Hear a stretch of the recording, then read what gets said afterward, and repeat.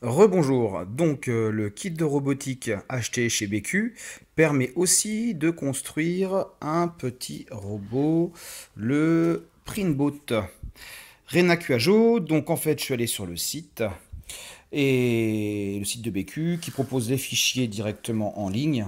Donc euh, j'ai construit, ou je vais construire plutôt, grâce aux pièces que j'ai imprimées avec notre Tobeka.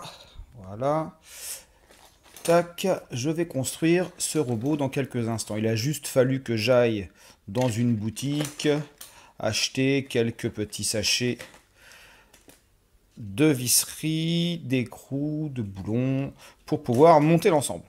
Bon, j'essaye ça, je vous redis ça, à tout de suite.